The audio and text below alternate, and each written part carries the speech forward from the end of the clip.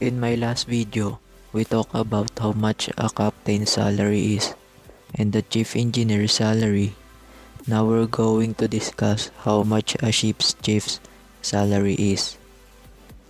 A chief cook is a senior most unlicensed crew member working in the steward's department of a merchant ship. The chief cook's principal role is to ensure the preparation and serving of meals that are both delicious and nutritious. The salary of a chief cook on the ship reaches 25 to 47 thousand dollars per year or if we convert it into peso it is worth 1.3 to 2.6 million per year. I hope you learned something from this video.